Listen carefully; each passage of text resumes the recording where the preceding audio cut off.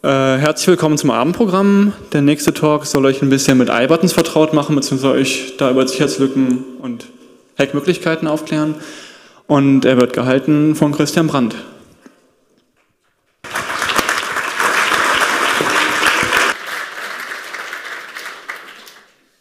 Okay, ähm, ich begrüße euch erstmal. Ähm, ich habe auf den Meta rein meinen Chaos Days bereits einen Vortrag über iButtons gehalten. Da ging es um Seriennummer iButtons vorzugsweise und ähm, quasi gar nicht über die Kryptographie iButtons.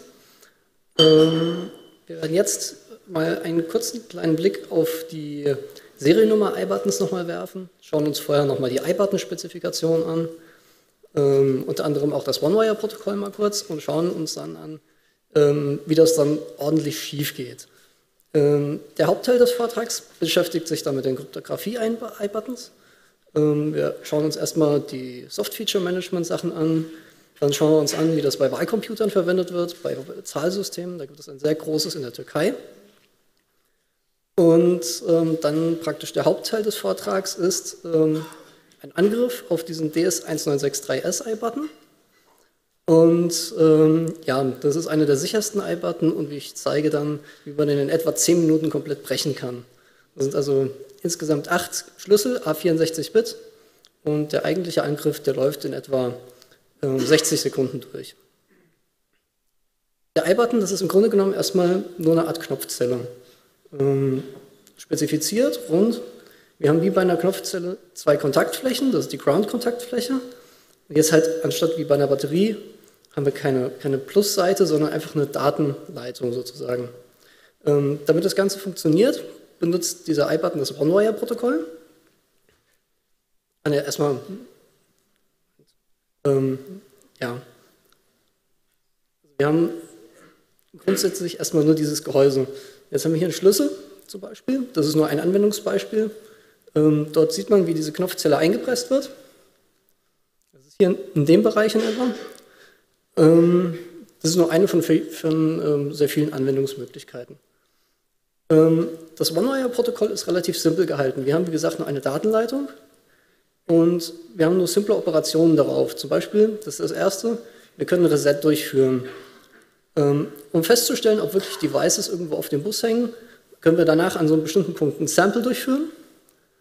Und ähm, wenn halt irgendein i-Button irgendwo auf dem Bus hängt oder in irgendein anderes One-Wire-Device, dann wird es diesen Bus kurz auf Load ziehen und dann wissen wir als Master, ah, da ist jetzt wirklich irgendwie ein Device vorhanden.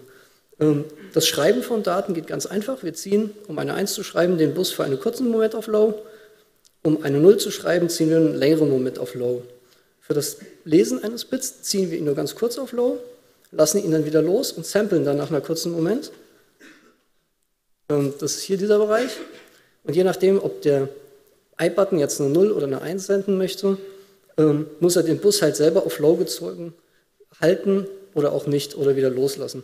Je nachdem, wie wir den dann samplen, haben wir dann eine 0 oder eine 1 gelesen. Ähm, wir haben ein ganz einfaches Kommunikationsprinzip. Wenn wir den Bus resettet haben, müssen wir einen ROM-Comment ähm, abschicken. Also wir sagen zum Beispiel, wir haben zum Beispiel Befehle, um Seriennummern zu suchen, also um Devices zu suchen, sie anzusprechen, sie zu selektieren. Wenn wir sie selektiert haben, dann können wir das Device mit speziellen ähm, Befehlen steuern. Wenn wir damit fertig sind, müssen wir den Bus wieder resetten und so läuft das praktisch immer und immer wieder ab. Ähm, es gibt verschiedene One-Wire-Devices. Darunter sind zum Beispiel Temperatursensoren, Temperaturlogger, verschiedene Feuchtigkeitssensoren, Analog-Digitalwandler, Echtzeituhren, alles Mögliche. Das Wichtigste ist, wir haben auch reine iButtons, die nur Seriennummern haben. Das heißt, die sprechen nur das Basisprotokoll und sonst nichts. Wozu die gut sein sollen, das sehen wir gleich. Ähm, der Hersteller hat sich gesagt, naja, wir setzen diese Seriennummer bei der Herstellung mit einem Laser die ist einmalig, unveränderbar und theoretisch 64-Bit groß. Da haben die sich gesagt, naja, ist ja super, da können wir die Dinge zur sicheren Authentifikation nutzen. Ja, ähm, wenn man sich da mal die Seriennummer anschaut, mal eine abgebildet, dann ist sie nicht wirklich 64-Bit groß, sondern wir haben am Ende auf der rechten Seite ähm, erstmal den Family Code, der sagt uns, ja, wir haben jetzt ein Seriennummer-Device oder wir haben einen EEPROM oder sowas in der Art. Ähm, das sind schon mal 8 Bit weniger. Dann schauen wir uns das auf der linken Seite an. Ähm, das ist eine CRC8-Checksumme. Die fällt also auch weg, sind wir bei 48 Bit Größe. Und wenn man sich dann den eigentlichen Bestandteil der Seriennummer anschaut, naja, da fallen einem deutlich viele Nummern auf. Naja, deutlich viele Nullen auf. Wir sind auf die Idee gekommen, die Seriennummern einfach sequenziell zu vergeben. Ähm, dementsprechend die, insgesamt die Größe dieser Seriennummern ist nicht sonderlich groß. Und ähm, es sollte auch relativ leicht auffallen, dass solche Devices relativ leicht mit einem Microcontroller zu emulieren sind. Also es ist im Grunde genommen nichts Besonderes dabei. Jetzt muss man sich mal die Produkte anschauen, wo die verwendet werden. Wenn zum Beispiel das hier, das ist ein Einbauschloss und die Schlüssel bestehen auch hier wieder nur aus einem Seriennummer-I-Button. Ähm, sonderlich intelligent, kostet 350 Euro so ein Schloss und macht nicht wirklich viel.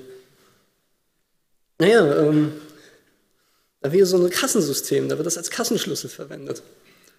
Ähm, sicher auch eine super Sache. Aber eines der schönsten Beispiele, das zeigen wir jetzt, das sind diese Teile hier. Haben wir alle schon gesehen?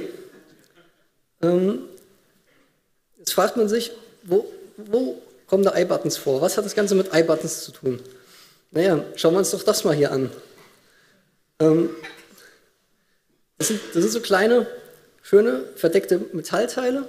Und im Grunde genommen ist das erstmal nur ein Vandalismusschutz. Das heißt, man hat so einen kleinen Metallbolzenschlüssel, den steckt man da drauf und dann geht so eine, so eine Schublade auf. Und schon hat man so eine One-Wire-Kontaktstelle, so einen iButton-Reader. Und ähm, ja, da muss man halt erstmal nach einem Hersteller suchen, wer sowas herstellt. Und ähm, ja,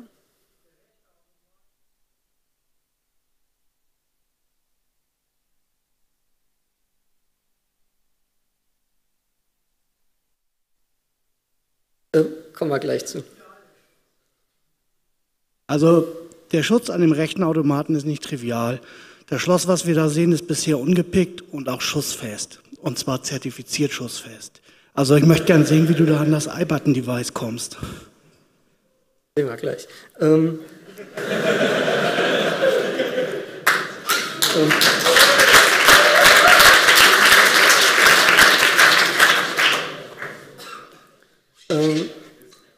so, jetzt schauen wir uns mal an, ähm, was wir für schöne Zitate vom Hersteller bekommen. Ähm, zum Beispiel hier, der iButton konnte bisher nicht intelligent überwunden werden. Risiken bei Schlüsselverlust oder Nachbau sind aufgrund großer Schaltgröße Kreise ausgeschlossen. Ähm, zweites Zitat. Der Nummervorrat beträgt 2 hoch 48, also mehr als eine Trillion. Im Gegensatz zu bisher eingesetzten Lösungen ist nicht das Schloss einmalig, sondern die Intelligenz liegt im Schlüssel. Naja, okay, so geht das halt mit den ganzen Zitaten von diesem Hersteller weiter. Es ähm, ist immer die gleiche Leihe und man, man, sieht das halt auch bei sehr vielen Herstellern. Es ist immer die gleiche Argumentationsweise. Ähm, dann hatte ich gesagt, jetzt können wir auf das von gerade eben wieder zurück. Ähm, man hat sicher in Deutschland hier bemerkt, dass viele Automaten momentan ausgetauscht werden. Und ähm, so, ja, das wollten wir noch einschieben. Ähm, das ist auch ein schönes äh, Beispiel dass man halt beim Hersteller immer in die Referenzen reinschaut und mal schaut, wo diese unsicheren Produkte noch so eingesetzt werden. Ähm, so, jetzt kommen wir zu dem Beispiel von gerade eben. Das Schöne ist, die Automaten werden gerade ausgetauscht gegen neue kundenfreundliche Geräte. Wie man hier sehen kann, ist die iButton-Kontaktstelle jetzt komplett freiliegend. Also ohne jeglichen Schutz. Man kann also direkt dran. Gut. Dann noch ein paar schöne Beispiele. Ähm, das ist ein Zitat von dem iButton Produktmanager damals.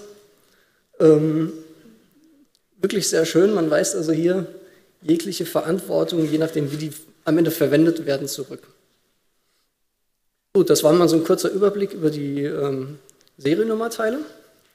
Kommen jetzt zu diesen Krypto-iButtons.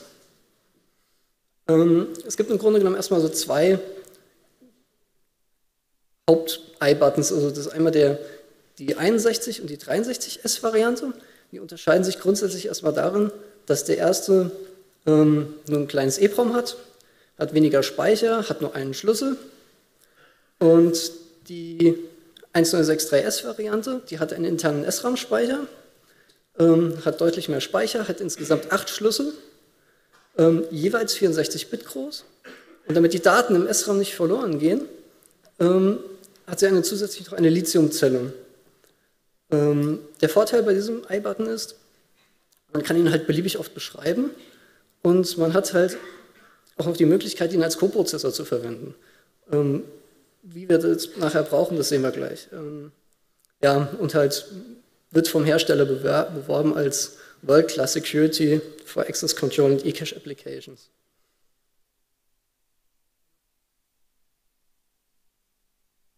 Ja, das ist ein kleines Beispiel zu Soft Feature Management. Das ist ein Server-Mainboard mit RAID-Controller und der RAID-Controller kann verschiedene RAID-Modi, also RAID 0, 1, 5 und so weiter. Aber die RAID-Modi sind alle erstmal nicht nutzbar. Das heißt, man kann den einfach nur mit ganz normalen Festplatten benutzen, just a bunch of disks. Mehr geht erstmal nicht. Jetzt muss man das nachlizenzieren. Und dazu kann man jetzt einen vorkonfigurierten i-Button kaufen. Der wird auf diesem ähm, Steckplatz einfach reingesteckt. Und dann hat man diese RAID-Features praktisch nachlizenziert. So ein kleines Beispiel, wir wollen jetzt nichts Großartiges darüber zeigen. Ähm, welcher was? Das ist die EEPROM-Variante, die da verwendet wird. Ähm, dann schauen wir uns das nächste an. Ähm, das ist ein Wahlcomputer und ähm, da werden die zum Initialisieren verwendet. Und zwar die SRAM-Variante. Ähm, freundlicherweise, also ich habe das lange nicht gefunden ähm, und bis ich auf dieses PDF gestoßen bin, das kam mir schon irgendwie verdächtig vor. Ähm, interessanterweise hat der Hersteller das nicht sauber im PDF ausgemarkert. ähm, also er hat einfach nur Kästchen drüber gemalt. Sieht dann so aus. Und da haben wir schon wieder unseren DS1963S. Und interessanterweise, wenn man sich das mal anschaut, fanden es wohl auch ziemlich peinlich, dass sie SHA-1 benutzen. Oh, das ist abgestimmt? Okay. Ähm, ja, wo werden die Dinger noch verwendet? Und das ist im Grunde genommen der größte Einsatzzweck. Die werden als eCash-Tokens verwendet, also als Bezahlsystem. Und ähm, die wichtigste Eigenschaft ist im Grunde genommen, dass der Geldbetrag nur auf diesem i-Button gespeichert wird. Das heißt, wir haben bei Abbuchungsvorgängen kein, keine Verbindung zu irgendeinem Backend, wo das dann auch validiert oder überprüft wird. Ähm, der Hersteller empfiehlt, äh, dass man Transaktionslogs anlegt und die regelmäßig von allen Automaten einsammelt und dann auf ihre Konsistenz prüft. Ähm, was natürlich, wenn ein Missbrauch stattfindet und wenn man überhaupt diese Logs durchführt, das fällt halt erst nach einer längeren Zeit auf. Ähm, naja, das größte System, das es verwendet, ist Akbil in der Türkei. Ähm, ein paar Beispielbilder dazu. So sieht ein Terminal aus im Bus. Ähm, das ist so ein das sind zwei Systeme in einem praktisch. Also wir haben einerseits ein RFID-System zu bezahlen und andererseits, das sieht man in diesem grünen Teil, das ist diese iButton-Kontaktstelle. Ähm, dann gibt es auch in der Straßenbahn, also das gerade eben, das war in einem Bus. Die sind halt in den Bussen installiert. Das ist auch einer der, der Vorteile von einem System, das ohne Backend funktioniert. Wie will man in, in Bussen ein zuverlässiges Backend irgendwie hinkriegen? Ähm, das ist jetzt ein Drehkreuz, man sieht hier auch an diesem diesen roten iButton-Reader hier in dem Bereich. Ähm, Bezahlung erfolgt da genauso. Und die werden halt auch auf Fähren und auf anderen verschiedenen Transportvehikeln äh, benutzt. So, hier sieht man noch so eine, so eine Vending Machine, wo man diese Tokens aufladen kann. Ein übliches eCache-Konzept halt. So, schauen wir uns mal die Eckdaten an. Ähm, das System hat 5,5 Millionen Nutzer, also 5,5 Millionen solcher Tokens. Das ist schon nicht gerade wenig. Insgesamt es, äh, kommen die auf 2 Millionen Debit-Transaktionen pro Tag. Ähm, man kann auch kostenlos umsteigen. Das wird 600.000 Mal pro Tag wahrgenommen. Und es gibt vielfältige Möglichkeiten, diese Tokens aufzuladen. Ähm, interessanterweise haben die zuerst, bevor sie diesen Krypto-I-Button verwendet haben, haben sie den DS1991 I-Button verwendet. Das ist im Grunde genommen ein EEPROM mit Passwortschutz. Das System ist denen dann halt irgendwann um die Ohren geflogen und das war dann der Grund, warum sie auf diesen Krypto-I-Button umgestiegen sind. Ähm, das ist eine der Folien und es gibt auch viele andere PDFs, wo sie ihre Technologie als sehr sicher anpreisen. Und ähm, interessanterweise haben sie auch immer Bilder von geöffneten iButtons da. Ähm, wenn man sich das mal anschaut, wir haben hier tatsächlich einen Krypto-iButton. Ähm, man sieht das auf diesem eingelaserten äh, Schriftzug. Da steht wirklich, es ist ein OneWire SHA-1 Das Interessante ist, ähm, so wirklich stimmt die geöffnete Variante nicht mit der geschlossenen überein. Ähm, die haben das Bild sich nämlich einfach irgendwo aus dem Internet geholt. Wenn man sich da mal genauer anschaut, was das ist, neben dem Krypto-Eye-Button liegt nämlich ein Temperaturlogger und ein Feuchtigkeitssensor. ähm, ähm, ja, also man hätte ja wenigstens erwarten können, dass man so ein 6-Euro-Teil mal selber auf, aufschneidet. Wenn man das selber aufschneidet, dann sieht das in etwa so aus. Also die Differenz ist schon, schon vorhanden. Ähm, so, man sieht jetzt im Grunde genommen die, die wichtigen Komponenten. Wir haben eine kleine Trägerplatine, das ist die hier. Darunter befinden sich zwei kleine Halbleiterchips, werden wir nachher noch sehen. Ähm, diese Lötspuren, die sind da ursprünglich nicht und die Platine sieht normalerweise auch ein bisschen besser aus. Warum die so aussieht, das werden wir gleich sehen. Ähm, das Wichtigste an diesem Teil ist, ähm, wir haben halt hier diese interne Knopfzelle und man kann hier sehen, da ist so eine kleine Kontaktfeder dran. Und auch hier sind so kleine Metallfedern dran. Die werden hier in dieses Plastikteil reingesteckt und in diesem Sandwich, also man sieht es hier, hier liegt der Chip drin, und dann wird das wie so ein Sandwich von oben drauf gedrückt. Ähm, das hat folgende ähm, Idee. Wenn man versucht, diesen i-Button zu öffnen, werden diese Kontaktfedern, die gehen auseinander, unweigerlich. Also egal wie man das versucht zu öffnen, man kriegt das nicht hin, dass man das Ding öffnet, an die Platine rankommt und diese Kontaktfedern sich nicht öffnen. Ähm, und das hat zur Folge, wenn auch wirklich nur ein Bruchteil einer Sekunde diese Kontaktfedern auseinandergehen, verliert das SRAM die Spannung und der Speicherinhalt ist weg. Komplett, unwiderruflich. Das geht wirklich in einem kleinsten Bruchteil einer Sekunde. Ähm, also das Konzept ist schon gar nicht schlecht, muss man sagen. Ähm, allerdings ist es nur eine Frage, wie man das geschickt überlisten kann und das schauen wir uns jetzt an. Als erstes nochmal was mich überhaupt auf die Idee gebracht hat, mir das anzuschauen, war die schöne Beschreibung, ja, wir geben unsere Datenblätter nicht raus. Ähm, und das machen die gerne. Also wenn man sich die gesamte Produktpalette des Herstellers anschaut, egal welches Sicherheitsprodukt, egal welches Kryptoprodukt man sich anschaut, ähm, es steht immer da, ähm, wir geben unsere Datenblätter nicht raus oder wir geben sie nur an ganz spezielle Kunden raus. Ja. Wir geben sie nur an ganz spezielle Kunden raus. Und das macht natürlich neugierig. Ähm, interessanterweise gibt es noch so schöne Seiten wie datasheetarchive.com und die spiegeln auch gerne mal ähm, PDFs, die nur ganz kurz online waren und dann wieder zurückgenommen wurden. Ähm, ja, vielen Dank an die Seitenbetreiber an der Stelle. Ähm, so, schauen wir uns mal an, wie das Gesamte aussieht. Wir haben jetzt hier einen Memory Dump, wie das in etwa aussieht. Also wir haben das ist ganz wichtig, wir haben hier zwei mal acht Speicherseiten, die wir als Nutzdaten verwenden können. Ähm, das sind praktisch, also wir können auch auf die frei schreiben, wir können sie frei lesen, wir brauchen dazu keinerlei ähm, Schlüssel zu kennen oder sowas. So, jetzt kommt der wichtige Bereich. Die Bereiche, die hier nur als F gelesen werden, da liegen die Schlüssel. Also man kann sie ganz normal adressieren, aber wenn man sie lesen will, kommt man nicht an diese Daten ran. Dann haben wir in dem Bereich haben wir Write Cycle Counter. Ähm, die Idee ist, dass man ähm, Schreibvorgänge auf Speicherseiten und Speich äh, Schreibvorgänge auf Schlüssel mit einem Counter verbindet. Das heißt, das ist ein ähm, Non-Rolling-Over-Counter, das heißt, man kann nicht ewig hochzählen und irgendwann läuft er über und man ist wieder bei Null. Das heißt, wenn er an seinem Höchstwert angekommen ist, bleibt er stehen und inkrementiert nicht mehr weiter. Ähm, diese Counter, die wir jetzt hier im Highlight haben, ähm, die sind assoziiert mit den, mit den zweiten, mit dem zweiten, Acht, zweiten Achterblock an Speicherseiten. Ähm, das heißt, der erste Speicherblock, ähm, der hat gar keinen Counter.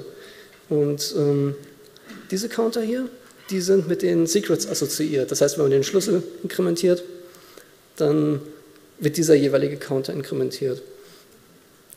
Ähm, oh, ich bin verrutscht, das hier war das Scratchpad.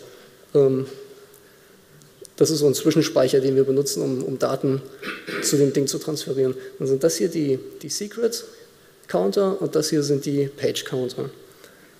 Ähm, und dann haben wir hier noch eine kleine Zahl, die wird von dem Zufallszahlengenerator als Input-Seed verwendet. Ähm, schauen wir uns nochmal die Assoziation an. Das ist das erste Secret da unten und das wird mit diesen beiden Counter da unten assoziiert und mit diesen beiden Speicherseiten, die da jetzt im Highlight sind. Ähm, für das nächste Secret gilt das jeweils entsprechend. Haben wir nochmal drei Beispiele. So ist es miteinander verbunden. So, jetzt kommen wir zum Algorithmus. Sie verwenden SHA-1. Also Sie haben SHA-1 nicht so komplett benutzt, wie es in der Spezifikation stand, sondern Sie haben es erstmal zusammengestrichen, so dass es einen minimalen Hardwareaufwand hat. Ähm, also Sie haben keine Verkettung, Sie haben einfach nur einmal die Kompressionsfunktion angewandt und Sie haben am Ende einfach noch die Addition weggestrichen. Also das ist einmal der primitive Funktionsaufruf und das ist deren SHA-1-Funktion. Ähm, dann sind Sie hingegangen und haben sich gesagt, naja, jetzt haben wir nur noch maximal 16 32-Bit-Worte als Input. Wie kriegen wir da jetzt unsere Daten unter? Ähm, was wir hier unten sehen, das ist die Zusammensetzung. Also hier oben haben wir nochmal einen Auszug aus diesem, aus diesem Speicherbild. Und hier unten, das ist der Input, den Sie in SHA-1 reinstecken. Da wird einfach mal erstmal ein halber Schlüssel reingesteckt, dann nochmal eine ganze Datenseite, noch die ROM-Nummer wird noch mit reingesteckt und am Ende nochmal ein Stück vom Schlüssel und noch ein paar Konstanten. Noch eine 3-Byte-Challenge, besonders groß. Und dann ist es fertig, ja. Das war so deren Idee und das haben sie dann auch umgesetzt. Ähm, was wir im Endeffekt haben, wir haben jetzt dieses Token wir können das sowohl als User-Token auch, als auch als Co-Prozessor-Token verwenden. Ähm, beim User-Token haben wir das so, das User-Token ist das, das wir mit uns rumtragen und als Bezahlsystem benutzen. Das Co-Prozessor-Token hingegen, ähm, das steckt in den Automaten drin. Das heißt, die benutzen genau dieses Token, das wir zum Bezahlen benutzen, das benutzen die auch als Co-Prozessor in den Automaten mit der Begründung, naja, es ist sowieso super sicher, also sollten wir es auch in den Automaten verwenden. Wenn die aufgebrochen werden, kommt ja keiner an das Secret ran. Ähm, es gibt dann insgesamt drei wichtige Typen von Secrets, beziehungsweise ich verwende, ich sage teilweise Secret und auch Key, also bedeutet beide das Gleiche in diesem Kontext. Ähm, wir haben einmal das Master Secret und das Master Signing Secret, die sind nur auf diesen Coprozessor-Tokens vorhanden. Ähm, die Idee ist, dass auf den User-Tokens kein einheitliches Secret verwendet werden soll, sondern auf jedem User-Token befindet sich ein eigenes Secret. Und ähm, das wird assoziiert über, also man rechnet das aus, indem man das Master Secret nimmt, mit der ROM-Nummer verknüpft, das Ganze einmal hasht und dann bekommt man dieses, dieses User Secret. Das hat den großen Vorteil, ähm, man kann jetzt, wenn so ein User mit seinem Token ankommt, ähm, liest man einfach die ROM-Nummer, generiert sich selber nochmal das, das Secret von dem, von dem User und kann das dann vergleichen. So. Ähm, das ist nochmal in etwa das Verfahren, wie man das Token validiert. Also der Coprozessor generiert eine Challenge. Ähm, man liest eine authentifizierte Seite von diesem User-Token. Dann muss der Coprozessor selber nochmal dieses Secret von, seinem, von diesem gerade angelegten Token berechnen, muss diese Berechnung, die er das Token hat machen lassen, auch nochmal nachvollziehen und dann die Ergebnisse vergleichen. Damit kann er sich schon sicher sein, ähm, ja, es ist ein validiertes Token, das ist berechtigt. Ähm, das Interessante ist, dass E-Money, also der Geldbetrag, der besteht aus dem Geldbetrag an sich, dem Counter der jeweiligen Seite, in dem er gespeichert wurde, und der Signatur dieses gesamten Betrags. Und das ist der Grund, warum das Ganze auch mit Replay nicht funktioniert. Also man, man, kann nicht den Betrag speichern, man könnte ihn natürlich nachher wieder zurückschreiben, aber durch das Zurückschreiben erhöht man diesen Counter und dann stimmt die Signatur am Ende nicht mehr. Ähm, so ist das Konzept und wenn das alles funktionieren würde, wäre das auch sicher. Ähm, das erste, was ich mir angeschaut hatte, war Brute Force. Ist immer ganz gut, wenn man sich das mal anschaut. Bei 64-Bit Schlüsselgröße ist die Annahme, dass bei Brute Force schon was geht, im Grunde genommen ja, angebracht. Ähm, Maxim behauptet äh, von sich aus, ein schneller Computer, der schafft eine Million Message Authentication Codes pro Sekunde, also eine Million Mal diese Kompressionsfunktion. Ähm, so wirklich stimmt das nicht. Ähm, vor allem Vergleich, naja, mit dem Supercomputer könnte man es in irgendwie acht Jahren mal berechnet haben und äh, keiner kann sich einen Supercomputer leisten, also das ganze Blödsinn. Naja, mit einer 80 Euro teuren Grafikkarte habe ich dann gleich mal die 240-fache Geschwindigkeit erreicht. Äh, wenn man sich einen ähm, einen schönen Spiele-PC heute zusammenstellt mit zwei GPUs und einem schnellen Prozessor, kommt man locker auf das Tausendfache. Ähm, FPGAs sind zwar in etwa genauso schnell, also da kann man jetzt nicht die Grafikkarten deutlich übertrumpfen. Ähm, man liegt aber tendenziell im Stromverbrauch halt nochmal gut runter. Ähm, wenn man das Ganze jetzt noch verteilt betreibt, dann kommt man schon mit einer, mit einer Sammlung von 1000 PCs, kann man in etwa sieben Monaten so einen Schlüssel knacken. Ist jetzt immer noch nichts Weltbewegendes, aber es ist doch schon in einem sehr realistischen Rahmen. So, ähm, das war natürlich nicht alles. Ich habe nicht bei Brute Force aufgehört. Ich habe mir verschiedene Time-Array Trade-off-Versuche angeschaut, ähm, algebraische Attacken, die habe ich auch irgendwann nicht mehr weiter verfolgt. Ähm, eine Seitenkanalanalyse haben wir gemacht und der endgültige Durchbruch kam da mit einer Fault-Attacke. Ähm, Fault-Attacken sind, Fault sind ähnlich wie Seitenkanalattacken. Ähm, man greift dabei ein, also man provoziert Fehler und versucht dann aus den fehlerhaften Daten irgendwie auf den Schlüssel zu schließen. Ähm, ja, die beste Fault-Attacke war dann auch nach einigen Wochen gefunden. Ähm, den Zeitaufwand wollte ich noch korrigieren, der ist nicht mehr bei 20 Minuten, sondern liegt bei etwa 10 Minuten, wenn man es geübt hat. Ja, das Schöne ist bei SRAM, ähm, ähm, viele von euch kennen sicher die Cold Boot Attacken auf DRAM. Und DRAM hat ja die schöne Eigenschaft, wenn es runtergekühlt wird, ähm, dann behält es seine Daten ein bisschen länger, wenn der Strom wegbleibt. Und das ist bei SRAM genauso. Wenn man ordentlich mit dem Eispray draufhält, dann bleiben die Daten auch ein bisschen länger erhalten. Und genauso ist es auch hier bei den Tokens. Ähm, ja, die erste Idee war dann halt, ähm, dass man das Ganze einfach mit dem Eispray behandelt und dann schön auffräst, vielleicht nochmal ein bisschen mit dem Eispray nachhilft. Und dann kann man das Ding öffnen, kann noch schnell die Leitungen irgendwie anlöten oder zumindest eine Versorgungsleitung dranhalten. Ähm, hat sich dann aber leider gezeigt, ähm, dass es nicht so gut funktioniert. Theoretisch funktioniert es, wenn man geschickt ist, wenn man keine Verkantungen hat, wenn einem nicht irgendwas anderes dazwischen kommt. Aber es ist verflucht schwierig. Also ich habe sehr viele iButtons damit geschrottet. Und das geht dann halt mit der Zeit auch ins Geld, weil die kosten zwischen 5 und 7 Euro pro Stück. Ähm, naja, jedenfalls ähm, war dann die Frage nach einem guten Verfahren. Wie kriegt man das wirklich zuverlässig und reproduzierbar auf? Ähm, so, ähm, Material ist im Grunde genommen ganz einfach. Man kauft sich eine kleine dreiachsige Fräse, packt noch einen Teilapparat drauf. Gibt es eine schöne Lösung von Proxon für 220 Euro. Ähm, Standardzubehör an Fräsern und Bohrern und man braucht natürlich eine Backup-Batterie, wenn man das Ding geöffnet hat und der Kontakt zur eigentlichen Batterie fehlt. Das Schöne ist, es ist perfekt reproduzierbar. Ich habe mit dem Verfahren keinen einzigen iButton kaputt gemacht und Materialkosten sind auch in einem total humanen Rahmen. So, jetzt haben wir eine schöne kleine Bildsequenz. Ähm,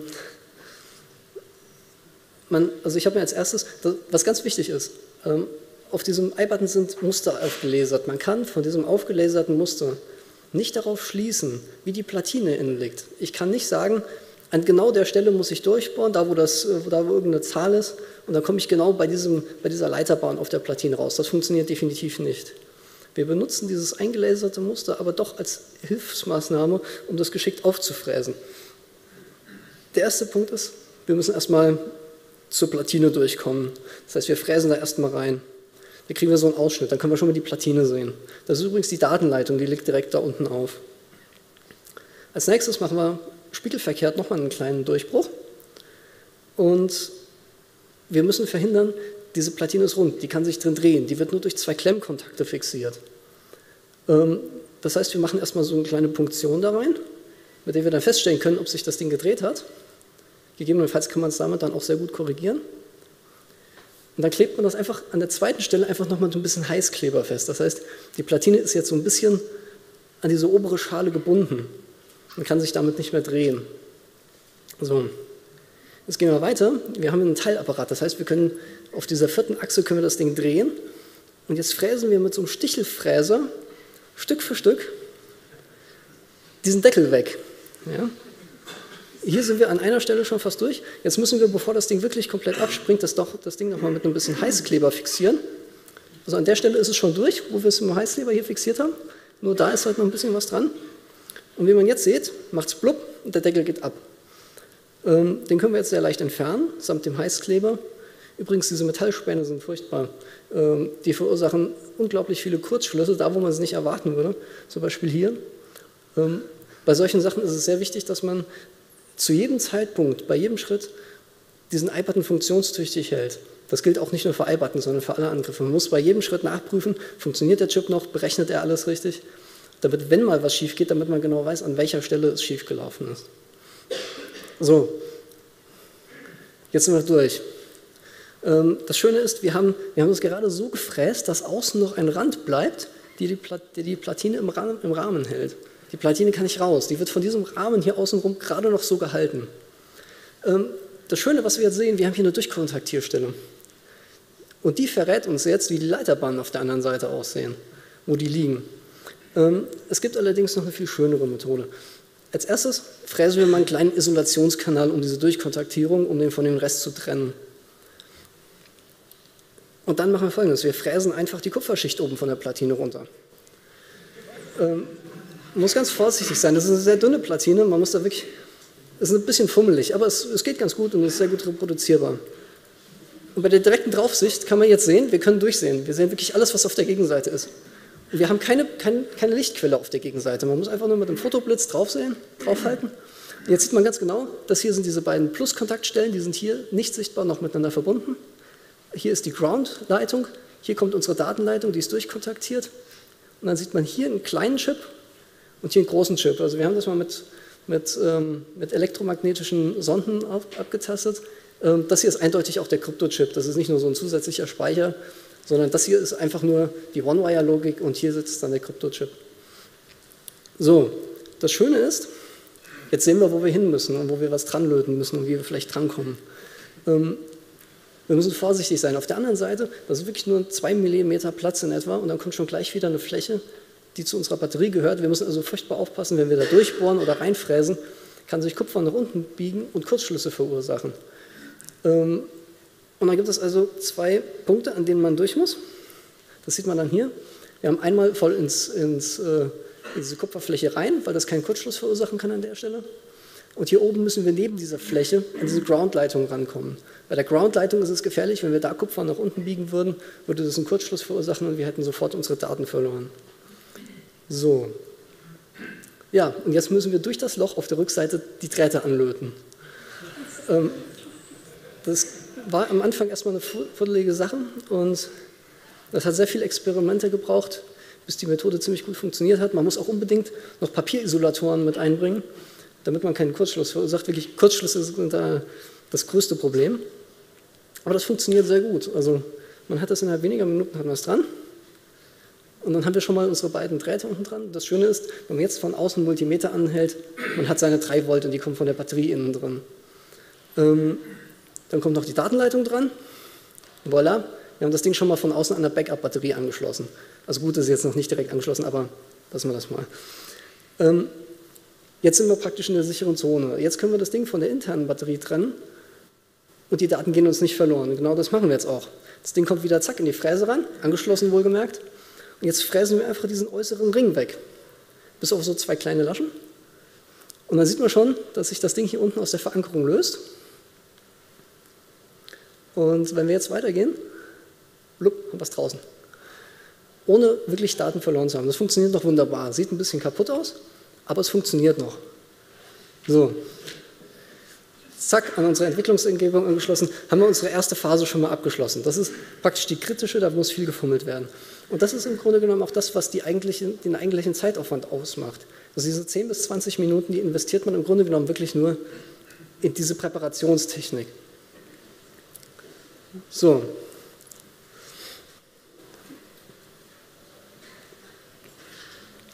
Jetzt müssen wir irgendwie an die Secrets rankommen. Ich meine, bisher haben wir noch nicht viel gewonnen. Wir haben nur die Kontrolle über diese SRAM-Leitung erhalten. Ähm, wir haben, das hatte ich ja vorhin schon erwähnt, wir haben eine parasitäre Versorgung des Devices. Das heißt, über die Datenleitung bekommt, ähm, bekommt dieser iButton ja seine Spannungsversorgung, egal was der macht. Ähm, die interne Batterie dient aber nicht nur, um das SRAM mit Strom zu versorgen und vor dem Verlust zu schützen, sondern es hat noch einen zweiten Sinn darin. Und zwar gibt es einen sogenannten Copy-Scratch-Pad-Befehl. Wir hatten so einen kleinen Zwischenspeicher, den haben wir vorhin gesehen. Ähm, wir brauchen irgendwie eine atomare Funktion und alles basiert im Grunde genommen auf diesem Copy-Scratch-Pad. Und damit das auch wirklich funktioniert, ich meine, man kann ja beim Bezahlen mal spontan zu früh diesen I-Button von der Kontaktstelle abziehen. Es ist ja nicht gesichert, dass ich den I-Button wirklich genauso lange dran halte, wie der gerade seine, seine Operation durchführen muss, seinen Kopiervorgang. Und deswegen haben sie es so gemacht, dieser Kopiervorgang basiert nicht auf, dem, ähm, auf der parasitären Versorgung, sondern auch auf der internen Batterie. Ja, und ähm, was liegt da nichts näher, als dass wir diese Kopiervorgänge einfach stören. Ähm, ein wichtiger anderer Punkt ist noch, wir können theoretisch im Speicher frei rumwursteln. Das heißt, wir können genau sagen, wir möchten genau bei diesem Byte anfangen zu schreiben, wir wollen bei dem Byte aufhören. Das geht bei den Schlüsseln natürlich nicht. Das heißt, Sie haben schon vorbedacht, wenn man, wenn man jetzt irgendwie nur einen Teil des Schlüssels überschreiben wollte, ähm, egal welchen Speicherbereich da man, man angibt, er überschreibt immer alles. Alles oder gar nichts. Und die interne Batterie, die stellt das natürlich sicher. Naja, also wie gesagt, genau das wollen wir stören. Und ähm, Intention ist natürlich, das funktioniert auch irgendwie. Ähm, ja, und nach einigen Experimenten hat sich herausgestellt, dass SRAM hat eine interessante Eigenschaft. Ähm, wenn man nämlich die Spannung über ein, ab einem bestimmten Level, liegt so bei etwa 1,07 Volt, hat das eine sehr interessante Eigenschaft. Ähm, I.O. funktioniert nicht mehr. Das heißt, die Daten bleiben erhalten, aber wenn man auf den Speicher schreibt, wird nichts geschrieben und wenn man aus den Daten, aus diesen Bereichen liest, kriegt man nur Einswerte zurück. Ja? Ähm, und das ist schon eine, sehr interessante Eigenschaft. Ähm, das Problem ist nur, es lässt sich halt schlecht, ähm, schlecht reproduzieren. Also wenn man die Spannung absenkt, wo er dann anfängt und aufhört zu schreiben, das funktioniert nicht so richtig. Ja, also muss man den Chip kurz schließen möglichst direkt auf 0 Volt runterziehen. Das funktioniert natürlich nicht, weil man wieder die Daten verliert, aber da kommt jetzt uns wieder diese Data Remanence Eigenschaft ähm, zugute. Ähm, wir kühlen den Chip einfach runter. Ähm, klingt so einfach, ist nicht ganz so einfach, ähm, weil man muss den Chip auf eine ziemlich konstante Temperatur runterkühlen. Also einfach ein Icepack drauf, das habe ich am Anfang auch probiert. Das Problem ist, dann hat man Code, der funktioniert und nach 20 Minuten funktioniert der Code nicht mehr. Das liegt daran, die Temperatur hat sich geändert, weil das Eispack langsam auftaut und damit ändern sich auch die gesamten Timings. Also gerade für die Entwicklung äh, solcher Angriffe muss man eine sehr stabile Kühlung haben. Naja, ähm, jedenfalls das Interessante ist, bei Temperaturen um die minus 5 Grad kann man eine halbe Sekunde locker unterbrechen. Minus 5 Grad sind auch sehr leicht zu stabilisieren und die kriegt man auch mit Hausmittelchen hin. Ähm, bei Temperaturen um die minus 20 Grad kann man auch schon mal 10 Sekunden die Spannung weglassen und wenn man auf minus 50 Grad runtergeht, dann geht das schon mal ein bis zwei Minuten gut. Ähm, genau. Ähm, wie nutzen wir das Ganze jetzt aus? Ja, wir generieren erstmal einen neuen Schlüssel. Und die Parameter zur Generierung des Schlüssels merken wir uns. Damit können wir einen Schlüssel generieren, den wir selber kennen. Und jetzt tun wir so, als würden wir einfach diesen bereits existierenden Schlüssel, den wir nicht kennen, überschreiben wollen. Ähm, das funktioniert so. Ähm, wir bereiten diesen gesamten Kopiervorgang vor. Das ist ein bisschen aufwendig. Ähm, brauchen wir jetzt, ist für den Angriff im Grunde genommen unerheblich. Wir bereiten ihn komplett vor. Wir machen folgendes: Wir schreiben alles bis auf das allerletzte Bit. Dann führt er nämlich diesen Kopiervorgang nicht aus. Und dann müssen wir dieses letzte Bit nicht nach Protokollschema durchführen, sondern wir müssen einfach nur diese Loadzeit für diesen Befehl aus, äh, ausführen. Das ist dieser, dieses letzte Bit, das ESX. Ähm, wenn das halt eine logische 1 ist, müssen wir den Bus für 6 Mikrosekunden auf Load ziehen. Wenn es eine 0 ist, müssen wir ihn für 60 Mikrosekunden auf Load ziehen. Und wenn wir den dann loslassen, dann haben wir eine steigende Flanke. Und genau diese Flanke triggert jetzt den Kopiervorgang. Wir dürfen nicht dieses komplette Bit abwarten, bis der fertig ist, sondern wir müssen genau diese Flanke nutzen, um unseren Vorgang zu triggern. Und was triggern wir? Wir triggern erstmal einen Timer. Und wie wir diesen Timer setzen, wie wir das benutzen, das sehen wir dann in, in den folgenden Folien. Ähm, wir machen es so, wir lösen den Timer aus. Wenn der Timer einen bestimmten Wert erreicht hat, ähm, dann müssen wir das SRAM kurz schließen. Das heißt, auf Masse ziehen, dann wieder ein bisschen warten und dann müssen wir die SRAM-Versorgung wiederherstellen. Ähm, was dann folgt, das gehört nicht mehr so direkt zum Angriff, sondern das sind nur ein paar Tricks, um den Chip dann wieder zu belegen. Das heißt, man muss ein bisschen Pause machen, man muss wieder ein Busreset durchführen, wieder ein bisschen Pause machen. Das triggert dann noch ein paar andere interne Vorgänge und dann verhält sich der Chip in, der Regel auch wieder protokollgemäß, spezifikationsgemäß. So, wie sieht das in etwa aus? Was haben wir damit erreicht? Ähm, wir haben einmal den Schlüssel K, den wir nicht kennen. Wir haben den Schlüssel BK. Und je nachdem wir unseren Timer jetzt setzen, sieht man, ein Teil wird überschrieben und dann hört er plötzlich auf. Ähm, je nachdem, wie groß der Timer ist, sieht das dann unterschiedlich aus. Ist aber noch interessanter. Es fällt sich nicht so, wie wir es jetzt erwartet hätten, sondern es fällt sich so. Je nachdem, wo man abbricht, kriegt man diskrete, ups, eins, man kriegt diskrete Zustände. Also wir haben nicht mehr so, dass man irgendwie noch ein paar Bits gekippt hat, sondern es gibt entweder ein ganzes Byte oder es gibt das nächste Byte, aber wir kriegen keine Zwischenzustände. So, wie füllen wir jetzt den Angriff insgesamt aus? Also so eine Angriffseinheit. Erst erstmal müssen wir uns die ROM, äh, diese, diese ROM-Nummer merken. Ähm, dann lesen wir einfach mal eine authentifizierte Seite, während das Ganze noch wirklich funktioniert hat, während der Originalschlüssel noch drauf war. Ähm, die Daten müssen wir uns alle speichern. Und dann setzen wir den Timer, unser Timer-Limit sehr niedrig an. Ähm, also bei etwa 4 Mikrosekunden. Ähm, so. Und solange das Timer-Limit jetzt unter diesen 17,5 Mikrosekunden ist, führen wir diese Attacke, die wir gerade gesehen haben, durch. Ähm, danach lesen wir wieder eine authentifizierte Seite, also Read Authentication Page. Das ist ein Befehl, der führt einfach eine Krypto-Operation durch. Da fällt dann unten ein Hash raus und man weiß, dieser Hash wurde mit diesem, mit diesem Schlüssel berechnet. Ähm, und dann erhöhen wir in jedem Schritt das Timer-Limit. So. Insgesamt haben wir dann pro Schlüssel 36 Angriffe. Der Angriff dauert 8 Sekunden und für alle 8 Schlüssel brauchen wir insgesamt 64 Sekunden. Ähm, das Interessante ist, wir brauchen es autonom, wir brauchen da nicht irgendwie händisch irgendwas machen, sondern es wird einmal dann autonom vom Microcontroller durchgeführt. Also der fertige Angriff ist einfach dranstecken, Taster drücken und der Angriff wird komplett ausgeführt. Vorausgesetzt, man hat halt natürlich die tiefen Temperaturen schon erreicht. So, die Daten werden dann einfach auf den PC transferiert und dort dann in der dritten Phase ausgewertet. So, wie sieht das in, in der Praxis aus? Ähm, der Output sieht in etwa so aus. Ähm, wir haben hier einen kleinen Auszug. Was man schön sieht, die Message Authentication Codes, also die Hashes, die hinten rausfallen, die sind immer eine ganze Zeit identisch. Dann ändern sie sich, aber immer blockweise. Man sieht immer, ein ganzer Block ist identisch. Und das ist genau das, wenn wir, wenn wir ein Byte überschrieben haben. Immer wenn wir wieder ein, Byte, ein neues Byte überschrieben haben, ändert sich diese MAC.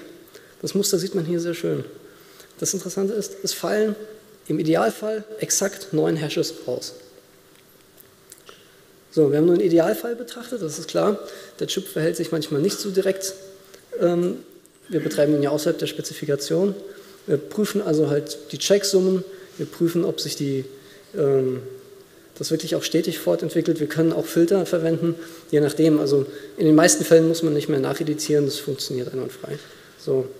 Ähm, insgesamt erhalten wir, nachdem wir die Daten geprüft und gefiltert haben, einmal die ROM, einen Basisschlüssel, mit dem wir das Ganze überschrieben haben, neunmal Datensätze, welche Daten wir äh, mit in, den, in die Message Authentication Code mit einbezogen haben und ja, die neuen Message Authentication Codes selber.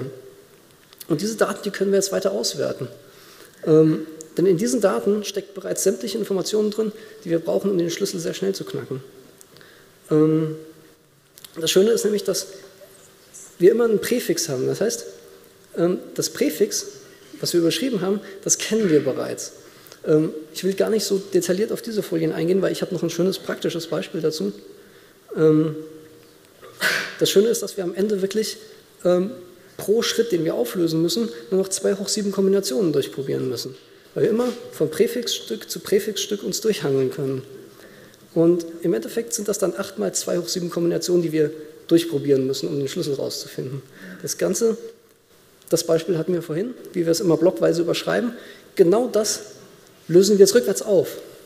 Das heißt, ähm, das ist der Schlüssel, wo wir ihn komplett überschrieben hatten. Und um jetzt den nächsten Schlüssel, den wir davor hatten, rauszufinden, müssen wir nur diese 8 Bytes rausfinden.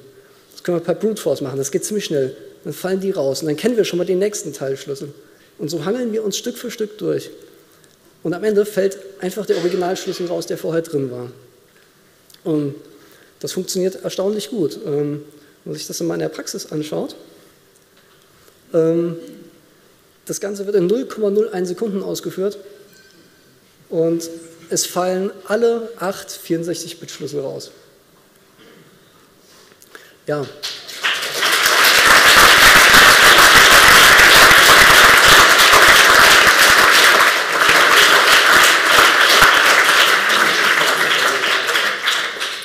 Ähm, hier in den eckigen Klammern sieht man noch zusätzlich, ähm, wie viele SHA-1-Operationen er durchführen musste, um den Schlüssel zu knacken.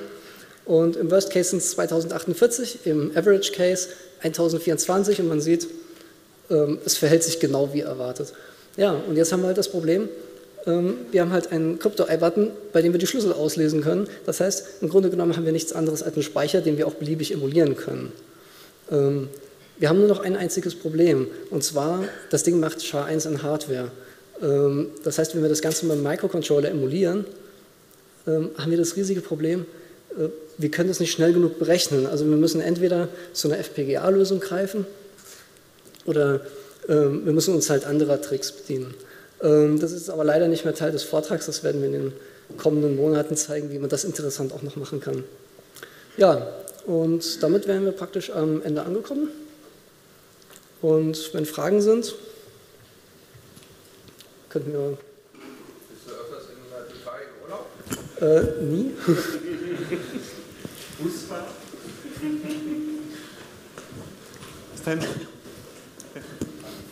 Ich hätte eine Frage zu den ID-Buttons, die du am Anfang hattest. Gibt es da eine fertige Mikrocontroller-Emulation für, die man direkt umsetzen kann auf ATmega oder sowas? Ähm, es gibt bereits fertige, ja, wir haben unsere eigene entwickelt. Ähm, wir werden die auch irgendwann in der Zukunft veröffentlichen wollen. Ähm, aber es gibt schon fertige, ja. Also das hat vor ein paar Jahren hat schon die ersten gegeben. Ähm, das waren aber nur kleine Sensoren, die sie damals äh, emuliert hatten.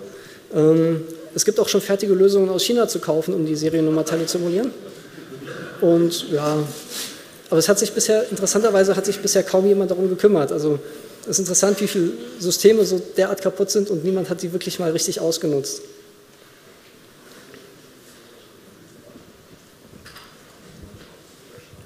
Ähm, wie ist das eigentlich? Ich müsste doch nicht unbedingt jetzt dieses äh, Ding emulieren müssen. Es reicht mir doch aus, wenn ich jetzt in der Türkei kostenlos mit der Bahn fahren will, dass ich mir jetzt einfach die Dinger personalisiere.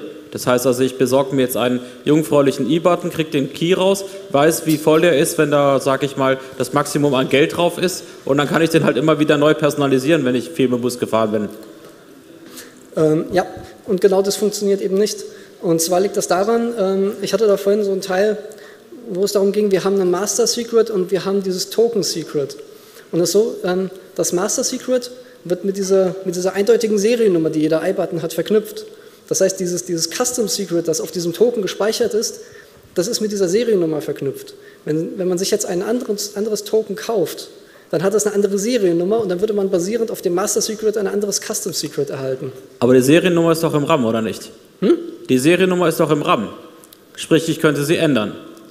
Ähm, das ist eine interessante Sache. Weil, weil die bauen ja bestimmt keine Flash-Zellen für ein paar Byte rein. Oder die bauen auch keine EEPROM-Zellen ähm, für ein paar Byte rein. Die, ähm, die Seriennummer ist, ähm, das ist nicht im Vortrag enthalten, die ist doppelt vorhanden. Also wenn man theoretisch die Möglichkeit hätte, aber die hat man leider nicht, könnte man diese Seriennummer ändern. Also es ist so, die Seriennummer ist einmal fest ähm, eingelasert ähm, für diese ROM-Funktionen und sie befindet sich zusätzlich noch Mit Fuses. Ja, also, aber sie sind nochmal zusätzlich, sie sind aber zusätzlich nochmal im SRAM abgelegt, aber in einer versteckten Region. Das ist eine Sache, die haben wir durch, durch einige Tricks noch rausgefunden. Das sind aber Regionen, auf die kann man auch nicht zugreifen. Also der Hersteller wird wahrscheinlich irgendeine Möglichkeit haben, diese Bereiche zu setzen, aber der Benutzer hat sie nicht und man kommt da in keinster Weise dran, leider. Was ist mit diesem komischen Gummigebühr? Da ist ja dieser Theaklex drauf. Hast du schon mal versucht, da dem ein bisschen mit Flusssäure zu, zu, zu Leibe zu rücken und zu gucken, ob da an ein Bonddrähtchen rankommst oder sowas? Ähm, nee, das haben wir noch nicht probiert. Das müsstest du mal machen. Dann brauchst du nämlich diesen ganzen Mathematikkram nicht. Dann sagst du einfach, okay, ich nehme jetzt hier so einen, so einen billigen RAM-Schreibleser aus dem, aus dem Logic Analyzer oder sowas und dann füllst du das Ding so, wie du es halt brauchst. Können wir mal probieren, ja. okay.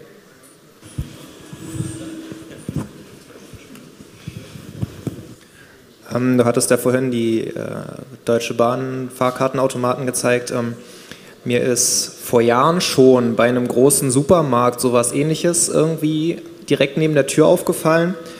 Und ich hatte dann halt auch so einen iButton in der, in der Kiste drin. Daneben ist so eine kleine Leuchtdiode. Ich habe das Ding da rangehalten, es blinkte rot. Also ähm, ja, wer das eventuell schon mal bei so einem blau-gelben Supermarkt irgendwie in der Nähe von der Tür gesehen hat, die benutzen das auch. Ist Okay. natürlich die Frage, man weiß nicht, was für einen i-Button die nehmen, wenn man da halt einfach bloß diese Kontaktflächen hat. Aber es ist mir halt aufgefallen und dachte ich mir Ähm. auch so, aha, interessant. Ja, ähm, also das ist eine, ähm, ich höre das immer wieder. Also man, man erzählt den Leuten ja über, über iButton-System und dann hört man plötzlich die verschiedensten Orte, wo die angeblich eingesetzt werden. Also die werden deutlich weit, ver- die sind deutlich weit verbreiteter, als man denkt. Ähm, also für Feedback, ich bin da zu haben. Ich kenne auch noch nicht alle Systeme. Also die meisten iButtons, die man außen an den Türen sieht, bei Supermärkten, Banken und auch ansonsten bei security-relevanten Bereichen, dienen schlichtweg dazu, dass der Nachtwächter seinen iButton dagegen hält und hinterher abgerechnet kriegt, ob er wirklich seine Runde gedreht hat. Die Ja, sind heißt- meistens nicht für die Zugänge. Ja, das ist doch genau das inverse System. Dann klebt doch, klebt doch der i-Button irgendwo an der Wand und man geht mit einem, nicht mit einem i-Button dran, sondern man hat einen Control-Stick, mit dem man dran geht und Ja, Control-Stick. äh, aber du kannst dir da höchstens eine Kennung abholen, um hinterher im Sicherheitsdienst am Computer deine Zeit abzurechnen, ob du eine Runde gemacht hast oder nicht. Also es ist ein reines Kontrollsystem für die Leute, die außen rumlaufen. Ja, aber das sind nicht die Systeme, die ich gezeigt habe. Also das, was ich gezeigt habe, sind wirklich Zugangs Zugangssysteme, wo man mit einem i-Button als User dran geht und das wird je nachdem, ob die Seriennummer passt, geöffnet. Das System mit den Wärtern, das ist ein ganz anderes. Also ich kenne das nur aus Hamburg. Ich habe selber mal eine Zeit lang auch für einen Sicherheitsservice gearbeitet, die, dass die Dinger wirklich nur als Token benutzt werden, um die Runde zu zählen. Ja, aber das ist eine andere Anwendung, ja.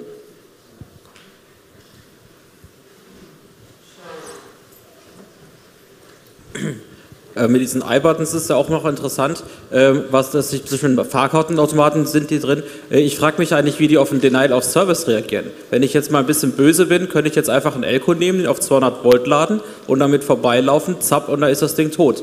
Und dann ist halt dann die Frage, was die dann damit machen, wenn jetzt der da i-Button tot ist. Weil den kannst du so schlecht nicht wechseln. Weil man kann jetzt so eine Verschwörungstheorie haben wie, ja, moderner Fahrkartenautomat hat jetzt einen i-Button und ich muss mich erstmal authentisieren und dann darf ich ihn öffnen. Und wenn ich das nicht mache, dann kommt der Trachtenverein und äh, sucht danach, wer da gerade kommt. Und das ist dann halt die Frage, wenn man jetzt zum Beispiel diesen, diesen i-Button zappt, äh, wenn jetzt dann, dann das nächste Mal der Sicherheitsdienst kommt, den äh, Button, diesen Automaten zu leeren, ob dann etwas Lustiges passiert oder nicht. Dann weiß man, ob dieser i-Button eine besondere, äh, äh, eine besondere Funktion hat oder nur als Rundenzähler dient. Ja, also, weiß nicht.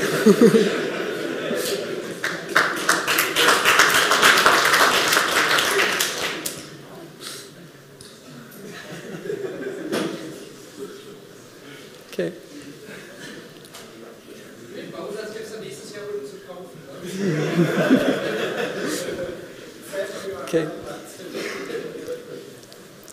Sonst noch Fragen? Okay, dann bedanke ich mich.